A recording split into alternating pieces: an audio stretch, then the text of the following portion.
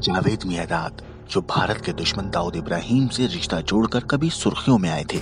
असल में Mumbai bomb blast समेत कई आतंकी गतिविधियों में शामिल।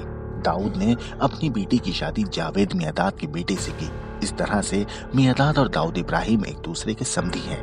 मगर अब दाऊद के समधी और पाकिस्तान के पूर्व दिग्गज खिलाड़ी जावेद मियादाद खबरों में हैं। और वजह है एशिया कप 2023 असल में पाकिस्तान को वनडे एशिया कप की मेजबानी मिली है। लेकिन भारत ने पाकिस्तान जाने से इनकार कर दिया है, जिसके बाद पाकिस्तान क्रिकेट बोर्ड के चेयरमैन नजम सेठ पहले ही कह चुके हैं, भारतीय टीम अगर एशिया कप खेलने पाकिस्तान नहीं आई तो हम भी वर्ल्ड कप खेलने भारत नहीं जाएँगे।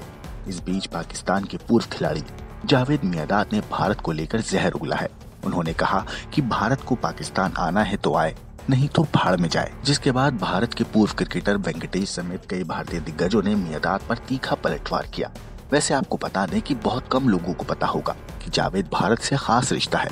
उनका परिवार मूल रूप से गुजरात का है और उनके पिता पुलिस में थे। बाद में वो पाकिस्तान चले गए।